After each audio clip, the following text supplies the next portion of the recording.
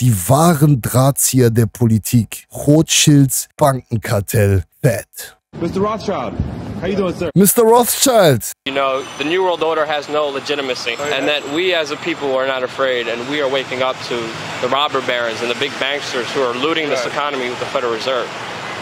Well, Sein Blick, der sagt, Bruder, ich hab dich trotzdem an den Eiern, Junge. Da kannst du mir mit deiner Furchtlosigkeit kommen, wie du willst. Du bist gefickt. so ein Blick ist es.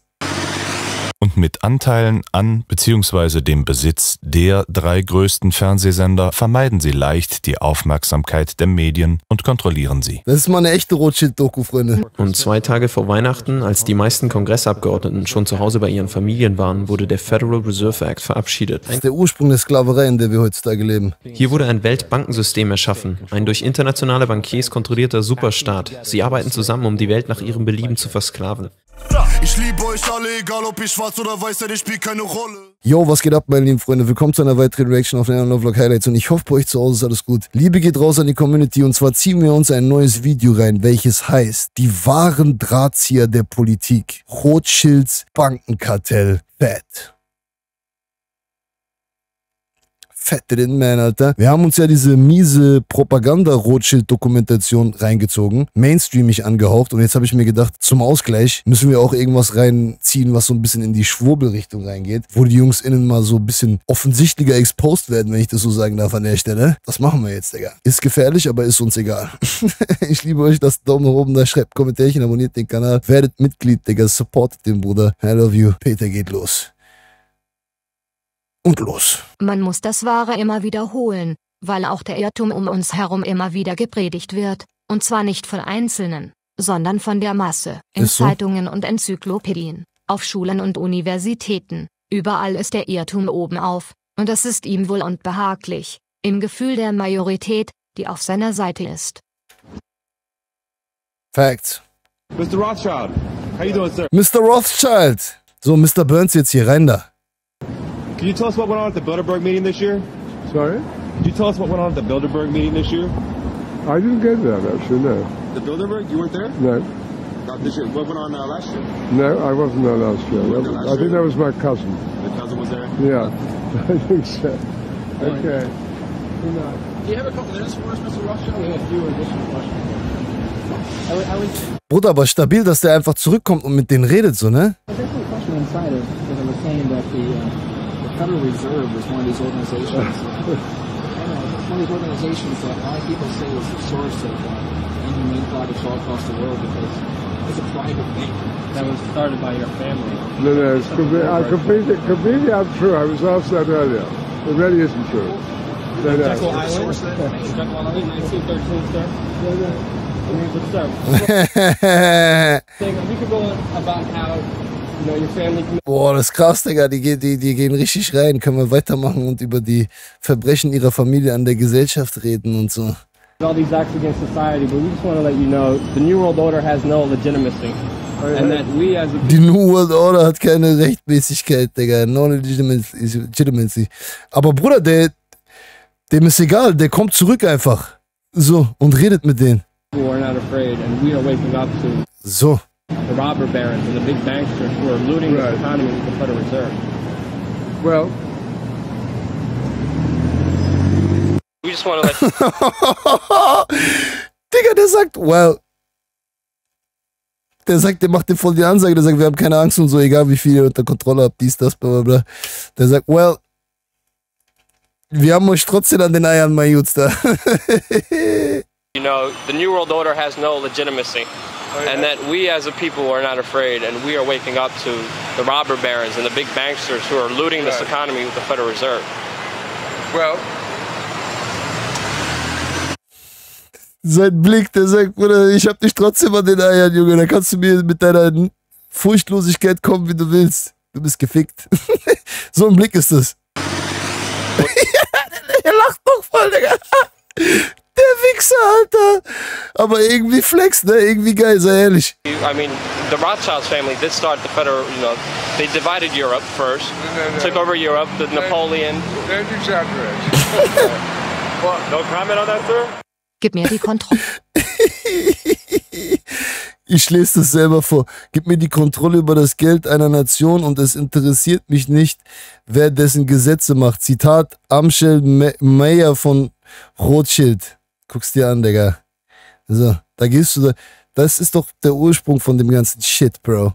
Das, müß, das müssen die Leute heutzutage auch mal wieder richtig realisieren, so. Ja, Leute vertrauen echt in Politik rein. Die denken echt, oh, ich will eine Partei und dann werden die irgendwas verändern. Und die checken nicht, dass es da Menschen hinten dran gibt, die alles steuern und kontrollieren, Digga. Es ist so crazy.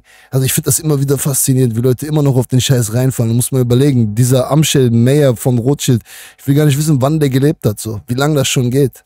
über das Geld einer Nation und es interessiert mich nicht, wer dessen Gesetze macht. Isaak Elchanan, geboren in Frankfurt am Main und von jüdischer Abstammung, erbaute im 16. Jahrhundert im jüdischen Ghetto das Haus zum Roten Schild in der Judengasse 69. Krass. Seine Enkel und deren Nachfolger Amschel Moses Rothschild betrieben Moses, Digga. Tschüss. Geldwechsel Und Isaak, Digga.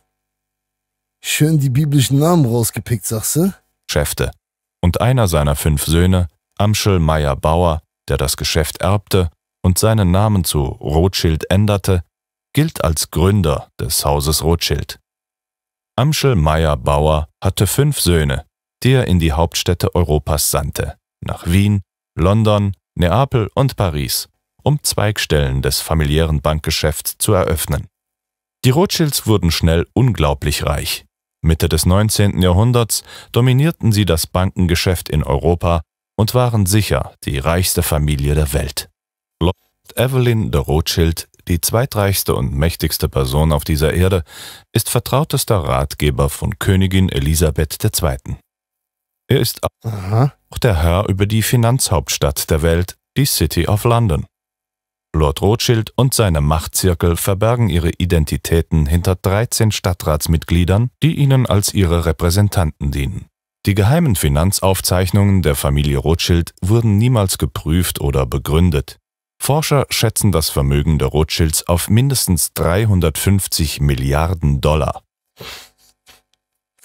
350 Milliarden Dollar. räumen aber gleichzeitig ein, dass es vermutlich wesentlich höher ist, weil die finanziellen Verflechtungen und Investitionen der Familie so undurchschaubar sind. Einzelne Spekulationen reichen bis zu einer Billion US-Dollar. Neben all den Burgen, Palästen, Ländereien, Winzereien, Rennpferden und exotischen Rückzugsorten, die sie im Laufe der Zeit erworben haben, kauften Rothschild auch die Nachrichtenagenturen Reuters und Associated Press und mit Anteilen an bzw. dem Besitz der drei größten Fernsehsender vermeiden sie leicht die Aufmerksamkeit der Medien und kontrollieren sie. Die Massen so, das ist mal eine echte Rothschild-Doku, Freunde. Medien sind eine Art Sprachrohr zum Bewusstsein der Bevölkerung. Liegt dieses mächtige Instrument in den falschen Händen, kann es mehr Schaden anrichten als alle verfügbaren Atomwaffen zusammen. Fühl ich? Die einflussreichen Nachrichten- und Presseagenturen wohnen im Anus der Hochfinanz. Während Napoleons Schlacht bei Waterloo überlisteten Rothschild die anderen Bankiers und gewannen so noch mehr an Reichtum und Einfluss. Rothschild besaßen mehr Geld als alle anderen französischen Bankiers zusammen. Während des Ersten Weltkriegs wurden Rothschild auch zu den reichsten in Amerika, aber unbekannt, verdeckt hinter dem Namen JP Morgan. Mhm.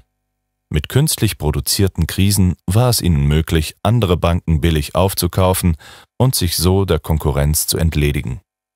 Der Zweite Weltkrieg und die Manipulation der Politik ermöglichten schließlich die Erschaffung einer Zentralbank und sogar einer Weltbank, die sicherlich unter dem Einfluss von Rothschild stehen. Das ist so krass, wenn du überlegst, ne? So, und die Leute, die das gegründet haben, die sitzen an der, die sitzen an der Titte, Bruder. An der Titte. So, doch, aber so, die sitzen am Euter. die haben, die, die, Bro, Bro, die, Bro, die kannst du auch nicht mehr, die kriegst du nicht mehr weg, Digga. Weißt du, was ich meine? Die sind, die sind am Ursprung, die sind da, Bruder, die sind, wir sind alle gefickt. Die nuckeln. Oder die melken die Kuh, aber sowas von. Die machen, was sie wollen, Diggi. Ja, safe. Du musst überlegen, mit jedem, mit, mit, wenn du am Ursprung dabei bist, bei der Gründung Federal Reserve, Weltbank, dies, das, und du hast da dein, du bist am Anfang mit dabei. Ja, alles, was passiert, du machst Profit, egal was passiert.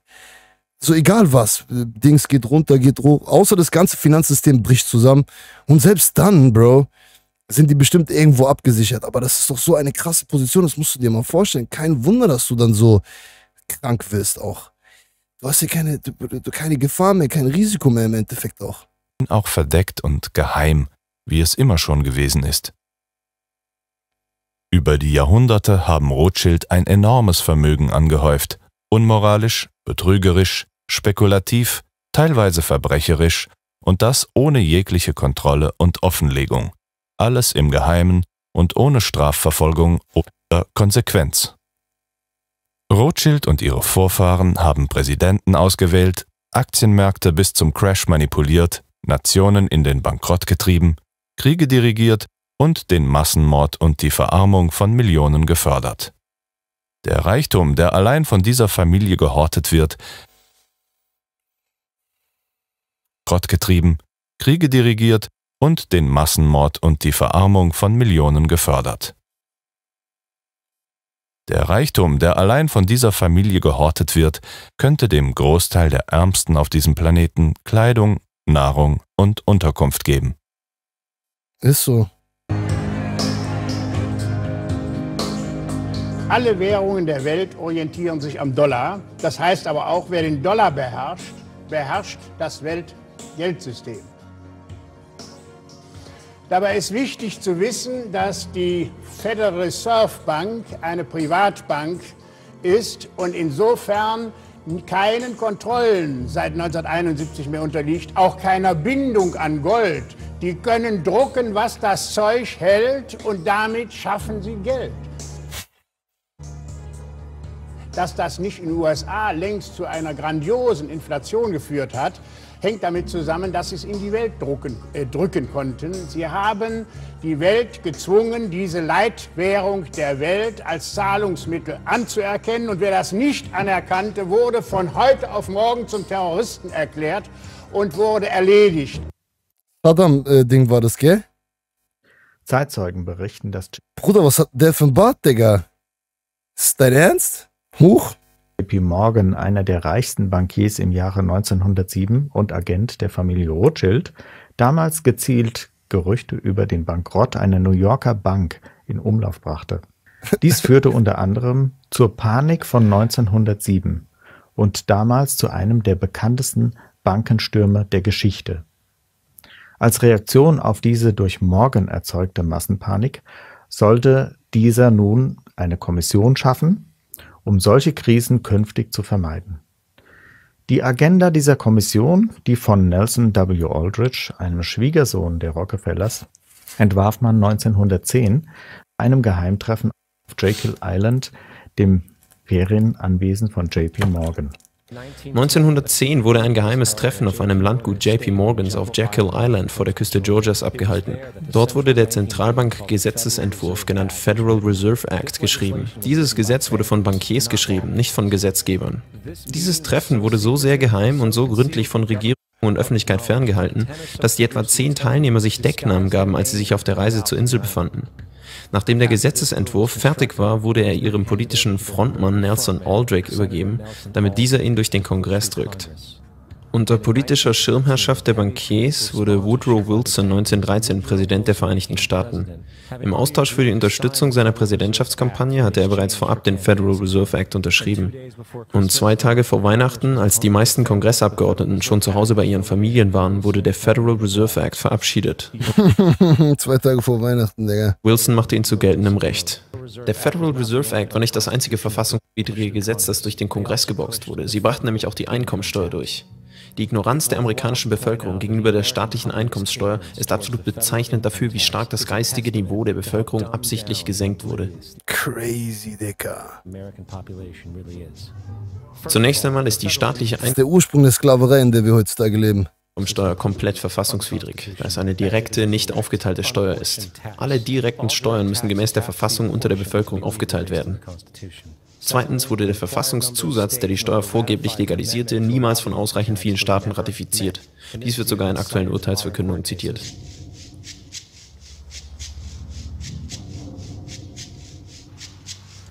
Drittens. Heute werden dem durchschnittlichen Arbeiter etwa 35 Prozent seines Einkommens allein durch diese Steuer abgenommen.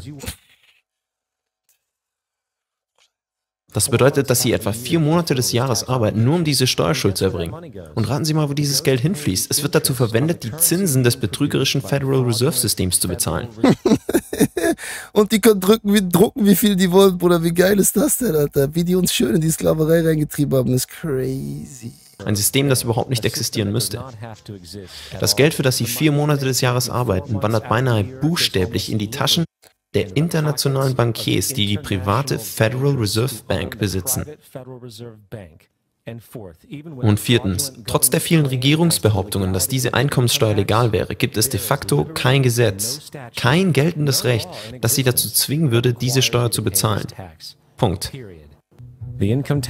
Ich zahle 42, ja, ich zahle auch knapp 50. Die Einkommenssteuer ist nichts anderes als die Versklavung des gesamten Landes. Aber die Kontrolle über die Wirtschaft und das fortlaufende Rauben von Wohlstand sind nur eine Seite des Zauberwürfels, den die Bankiers in Händen halten. Das nächste Werkzeug zu mehr Kontrolle und Profiten ist Krieg. Seit der Einführung der Federal Reserve Bank im Jahr 1913 wurden mehrere große und kleine Kriege begonnen. Die bedeutsamsten waren der Erste Weltkrieg, der Zweite Weltkrieg und Vietnam. Es ist wichtig, eindeutig zu verstehen, dass die Federal Reserve ein privates Unternehmen ist. Es ist etwa so federal wie Federal Express. Es legt die Unternehmenspolitik eigenständig fest und wird von der Regierung praktisch nicht kontrolliert. Es ist eine Privatbank, die die gesamte Währung gegen Zinsen an die Regierung verleiht. Das ist so krank, Dicker. Das ist so krank, Bro. Das ist genau das betrügerische Bankensystem, dem Amerika durch die Unabhängigkeitserklärung zu entkommen versucht hatte. Hier wurde ein Weltbankensystem erschaffen, ein durch internationale Bankiers kontrollierter Superstaat. Sie arbeiten zusammen, um die Welt nach ihrem Belieben zu versklaven. Die Fed hat sich widerrechtlich der Regierung bemächtigt. Der Öffentlichkeit war gesagt worden, dass das Federal Reserve System ein ökonomischer Stabilisator sei und dass sowohl Inflation als auch ökonomische Krisen der Vergangenheit angehören würden. Wie die Geschichte gezeigt hat, könnte nichts weiter von der Wahrheit entfernt sein. Vielmehr hatten die internationalen Bankiers jetzt eine hochmoderne Maschine zur Verfügung, um ihre Ziele zu erreichen. Ich schwör's dir, Digga, das ist so heftig. Das sollte eigentlich, das sollte eigentlich jeder in der Bevölkerung wissen, wie das damals aufgebaut wurde und was das eigentlich ist. So, ich glaube, die meisten Leute wissen gar nicht, was das eigentlich ist, die Federal Reserve Bank so. Von 1914 bis 1919 beispielsweise erhöhte die Fed die Geldmenge um fast 100 Prozent, was zu umfangreichen Krediten an kleinere Banken und die Öffentlichkeit führte, um dann 1920 die Geldmenge wieder massiv zu reduzieren. Das ist eigentlich Schulstoff, müsste eigentlich in der Schule beigebracht werden, aber normal äh, bringen die das nicht bei. mussten die Banken riesige Mengen an Krediten kündigen, was letztlich genau wie 1907 zu Bankruns, Pleiten und einem Wirtschaftskollaps führte. Mehr als 5400 konkurrierende Banken außerhalb des Federal Reserve Systems brachen zusammen, was die Konsolidierung der Gruppe internationaler Bankiers weiter vorantrieb. Jetzt, ohne weitere kritische Töne McFaddens, entschieden die Federal Reserve Banker, dass der Goldstandard abgeschafft werden sollte. Um das schaffen zu können, mussten sie an das im System verbliebene Gold kommen. Also wurde unter dem Vorwand, dabei zu helfen, die Depression zu beenden, 1933 eine Beschlagnahmung allen Goldes durchgeführt. Unter Androhung von zehn Jahren Gefängnis musste jeder in Amerika seine Goldbarren zur Schatzkammer bringen. 33. Boah, das ist auch, dass, dass sowas passiert ist, Digga, das ist voll das heftige Video, sag ich dir ehrlich, ne? Womit der Öffentlichkeit tatsächlich auch noch der letzte Besitz geraubt wurde.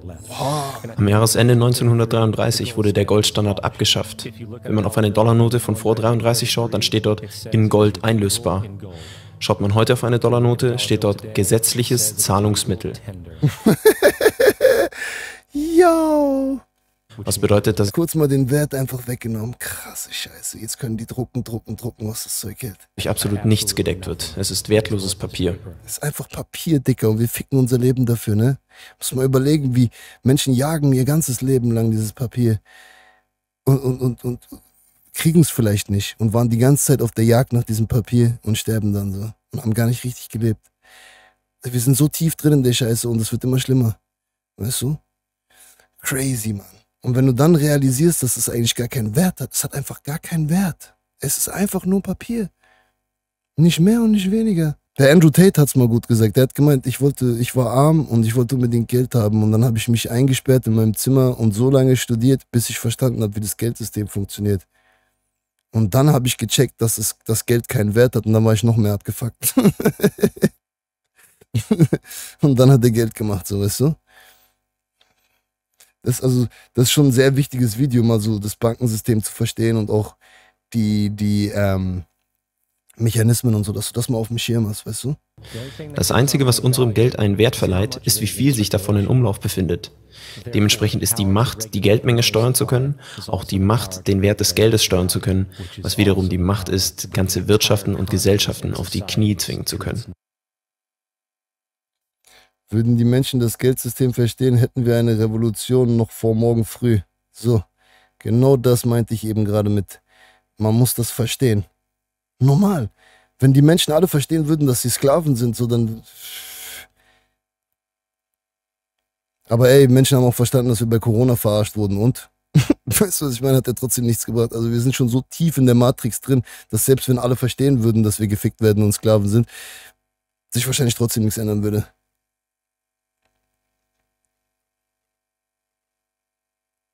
Das Federal Reserve System ist ein seltsames Geschöpf.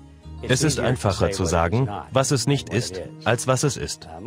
Die meisten Leute denken, es ist eine Regierungsbehörde, ist sie nicht. Gebildete Leute denken, es ist eine private Bankengesellschaft. Sie haben zur Hälfte recht, aber es ist nicht wirklich ein privates Unternehmen. Es ist ein Hybridsystem und, um es noch komplizierter zu machen, können wir sagen, es ist ein Kartell. Das Erstaunliche ist das, das Federal Reserve System ein Bankenkartell ist. Es ist nicht anders als ein Bananenkartell, ein Ölkartell oder ein Zuckerkartell. Ein Kokskartell. Es ist ein Bankenkartell. Es ist eine Gruppe von sehr großen und mächtigen privaten Bankinteressen, die ein Kartell gebildet haben. Sie brachten die Bundesregierung dazu, als Partner mitzumachen, um die Kraft des Rechts zu nutzen und die Kartellabsprachen zu erzwingen. Wenn ein Mitglied des Kartells aussteigen will, die Vereinbarung verletzt oder sie zum Beispiel Preisabsprachen bricht, und wenn eines der Mitglieder die Preise anheben will, gegen die Vereinbarung, gibt es keine Möglichkeit für sie, das Mitglied zu disziplinieren und das Mitglied zum Einhalten der Absprachen zu zwingen. Aber wenn Sie die Regierung in das Kartell aufnehmen und diese Vereinbarungen in ein Rechtssystem einbinden, sind jetzt alle Mitglieder gesetzlich verpflichtet, die Vereinbarungen zu halten, oder sie gehen ins Gefängnis. So ist es, dass Kartelle im Laufe der Geschichte immer wieder versucht haben, eine Partnerschaft mit einer Regierung zu bilden in der Gegend, in der sie tätig sind. Kenne ich aus Mexiko. Und so kommen wir zu dem erstaunlichen Ergebnis, dass das Federal Reserve System im Grunde ein Kartell, ein Bankenkartell ist, das eine Partnerschaft mit der Bundesregierung der Vereinigten Staaten eingegangen ist, so dass die Bundesgesetze verwendet werden können, um die Kartellvereinbarungen zu sichern. Crazy, Bruder. Miese Recherche, Alter. Passt dir auf, Freunde, schreibt dir mit, habt ihr Zettel und Stift dabei. Und Aluhut natürlich. Als ich anfing nachzuforschen, war es ein echter Schock für mich. Ich dachte, wie die meisten Menschen, dass die Federal Reserve eine Dienststelle der Regierung war. Dass sie zum Schutz der Menschen gebildet worden war, um sie und mich zu schützen. Die Wirtschaft zu stabilisieren und sicherzustellen, dass wir keine hohe Inflation und Arbeitslosigkeit bekommen und andere schlechte Dinge. Wenn der Vorsitzende der Federal Reserve vor dem Kongress oder vor den Fernsehkameras tritt und erklärt, warum er die Leitzinsen erhöht oder senkt oder was auch immer, wird er behaupten, wir tun es für die Menschen. Wir taten es, um die Abkühlung der Wirtschaft zu verhindern oder um die Wirtschaft zu stimulieren, mehr Arbeitsplätze zu schaffen. Oder was auch immer. Es soll jedes Mal den Anschein erweckt werden, es würde für die Menschen getan. Er kann schlecht sagen, wir taten es, um den Banken zu helfen. Jeder muss das tun, was er amazing findet. Leute würden sagen, was hat er da gesagt? Es ist ein Kartell. Es ist eine hybride Organisation. Es gibt nur sehr wenige wie diese. Sie hat den Anschein einer staatlichen Behörde, weil die Regierung beteiligt ist und es hat den Anschein von einem privaten Unternehmen, weil es tatsächlich im Besitz von Privatbanken ist. Aber es ist keines von beiden. Es ist voll krass, Digga. Ein Hybrid. Und wenn es zum Beispiel um die Eigentumsverhältnisse geht, sind in Wahrheit die Mitgliedsbanken die tatsächlichen Eigentümer des Federal Reserve Systems. Aber die Eigentumsrechte haben nicht die üblichen Vorrechte der Eigentümer. Zum Beispiel können die Banken die Anteile nicht verkaufen. Sie können etwas nicht verkaufen, was ihnen nicht wirklich gehört. Sie können sogar Ihren eigenen Verwaltungsrat bestimmen. Was für eine Art Eigentum ist das überhaupt? Es ist eine Fassade, es ist ein Name, es ist ein Wort, das Sie ihm gegeben haben. Doch es ist Eigentum der Banken, aber in Wirklichkeit ist es ein Hybrid, ein Kartell, das unter dem Schutz der Bundesregierung betrieben wird. Die Regierung hat dem Kartell ein Monopol für die nationale Geldversorgung gegeben. Und sowas zulassen. Ich habe keinen Zweifel daran, dass die Mitglieder des Federal Reserve Systems, das Bankenkartell, die Wirtschaft so stark wie möglich haben will. Denn die Gans, die goldene Eier legt, tötet man nicht. Aber Sie können sicher sein, dass wenn es einen Konflikt zwischen den Vorteilen des Kartells oder der Nation als Ganzes kommt, wird immer zum... Das ist doch der Ursprung da, davon, dass Politiker nichts mehr zu melden haben und Politiker halt einfach nur irgendwelche Marionetten und Handlanger sind, so weißt du? Vorteil des Kartells entschieden. Weil das ist, wer sie sind. Sie machen Geld, das ist ihr Geschäft. Das ist der Grund dafür. Der Zweck des Federal Reserve System ist es, die großen Mitgliedsbanken im Wettbewerb zu schützen und ihre hohen Gewinnspannen zu erhalten. Wenn, wie wir es vor kurzem gesehen haben, einige der Banken in Schwierigkeiten geraten, zeigt das Federal Reserve System ihr wahres Gesicht und gibt die Verluste der Banken an die Steuerzahler weiter. Sie tun dies durch den Kongress. Zur Erinnerung, der Kongress ist der Partner des Federal Reserve Systems. Der Kongress sagt, dass die Banken in Schwierigkeiten sind und wir dürfen die Banken nicht pleite gehen lassen, denn das wäre schlecht für die Wirtschaft. Das wäre auch für euch Leute schlimm, also tun wir es für euch. Der Kongressabgeordnete gibt Geld frei, um die Banken zu retten. Sie garantieren die Darlehen, sie garantieren die Zinszahlungen der Länder, die in Konkurs gehen würden und ihre Zinsen nicht an die Bank bezahlen könnten und so weiter. Mexiko, China oder Russland oder irgendein Land in Afrika oder Asien, sie können nicht bezahlen. Sie können nicht bezahlen. So sagt der Kongress, wir bezahlen für sie. Und es scheint wie eine humanitäre Sache, aber in Wirklichkeit Wirklichkeit ist alles, was sie tun, die Übertragung von Steuerdollar von ihnen und mir zu diesen Ländern, sodass sie auch weiterhin Zinszahlungen an die Banken machen können so dass die Banken diese Kredite nicht als faule Kredite abschreiben müssen. Ein weiterer Zweck des Federal Reserve Systems ist es, die Verluste der Mitglieder des Kartells auf die Steuerzahler zu übertragen. Die meisten Menschen realisieren es nicht, aber wenn sie sich anschauen, wie es in den letzten Jahren betrieben worden ist, ist es sehr klar. Der Zweck des Federal Reserve System ist es, die Interessen der Bankenmitglieder zu fördern. Was wir hier haben, ist ein Bankenkartell. Die eingegangene Partnerschaft mit der Bundesregierung hat ihnen die Macht übertragen, das Geld der Nation zu erzeugen. Diese Banken, private Banken, haben das Monopol über die nationale Geldversorgung. Und das ist ein schäbiger Deal. Seit diesem hinterhältigen da ist er wieder. Coup existiert, gesetzlich erlaubt, ein Kartell von Banken und Politikern, welches ohne Grenzen Geld drucken kann und dieses dem Amerikaner gegen Zinsen ausleiht. Fazit Einige wenige Banken haben sich vor 100 Jahren durch die bewusste Ausnutzung der demokratischer Schwachstellen mit der FED die Kontrolle über die Weltwirtschaft erschlichen. Wäre es nun denkbar, dass der Westen dem Rest der Welt eine Demokratie mit Gewalt aufzuzwingen versucht, um solche Tricks auch dort wiederholen zu können? Ja, ja. Also, dass sie das machen und, und, uns erzählen, warum die Krieg in Afghanistan oder hier und da machen. Ja, wir wollen denen auch Demokratie bringen und dies, das, bla, bla, bla, um dann auch denselben Shit da durchzuziehen, sagst du? Das ist krass. Wusste ich jetzt nicht. Hatte ich jetzt so nicht im Hinterkopf auf jeden Fall. Originalzitat zur Finanzkrise von Peter Walzli, London-Korrespondent des Schweizer Fernsehens, lautet. Als Ökonom musste ich mich von liebgewonnenen Gewissheiten verabschieden. Ich musste akzeptieren, dass vieles, was ich über Wirtschaft zu verstehen glaubte, schlicht und einfach nicht stimmte. Großbanken setzen die Regeln der Wirtschaft außer Kraft und lassen die Steuerzahler für ihre Fehler bezahlen. Auf meinen Reportagereisen in Irland traf ich Menschen, die bitter für die Fehler der Bankenmanager bezahlen. Das zu sehen, war teilweise nur schwer zu ertragen. Verbreiten Sie diese Informationen und helfen auch Sie mit, solche und andere Verbrechen ans Licht zu bringen.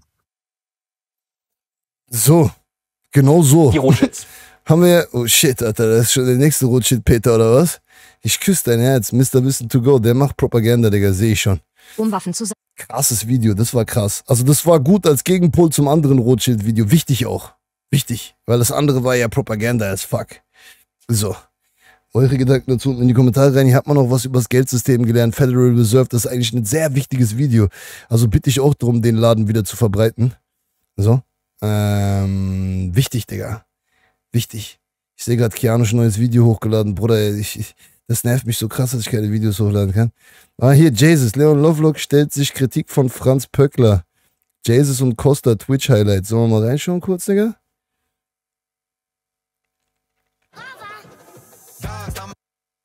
Ohne ja geheilt werden. Könnte sein. Alles klar, Digga. Ja, ja, ja, ja, ja, ja. ja. Verstanden, Digga. Gutes Feedback auf jeden Fall. Nehme ich mir zu Herzen. Liebe geht raus. Alright, Alter. Freunde, ich würde sagen, das war's gewesen mit dem Stream. Liebe an euch alle. Yes. Gang.